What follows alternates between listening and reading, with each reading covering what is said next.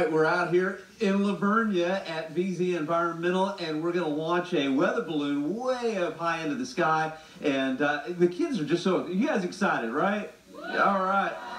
I've got Natasha Wilkerson with me. She's a STEM director over at Communities in School. And Natasha, this is the second balloon. Where is the first balloon right now? So we're actually tracking it live. We have a GPS tracker on it. It's headed to Belmont right now. Okay, so kind of east of here. Exactly. And as you would imagine, because we got a north wind, the balloon went up and then caught the winds that are coming from the south and west. And co- so it's going to end up probably around Brenham, Texas, somewhere around there, right? Yep, Brenham, Texas. So as soon as we're done here, we're gonna get in a van. We're gonna drive about two and a half hours and go get our balloon. All right. You know, this is really exciting. What kind of instruments uh, do you have on this balloon?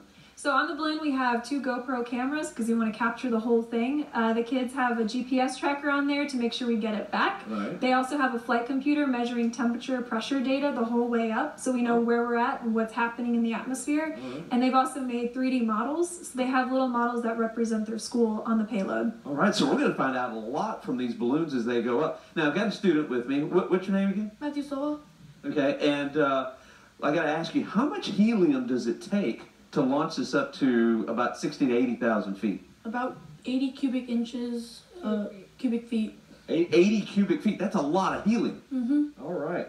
And uh, have you you enjoy this? Yes. Have, what, what, what have you learned so far? I've learned a lot of stuff, how to create stuff and how to build and think of brilliant ideas.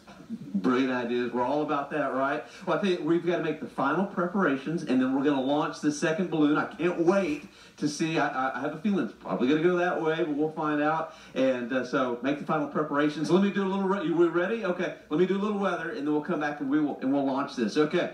All right. It is chilly out here in La Vernia. We've got temperatures in the 40s all across South Central Texas, and uh, we've got a lot of cloud cover out here.